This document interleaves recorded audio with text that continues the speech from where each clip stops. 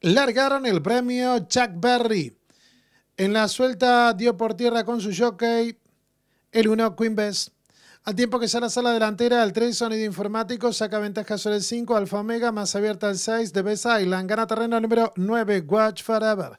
Recorren los primeros metros de carrera y lucha en la vanguardia. 3 Sonido Informático, pequeña ventaja sobre 4, dormía sola. Cerca el 5 Alfa Omega, más abierta gana terreno el número 9 Watch Forever. Pasan por la señal de los 500.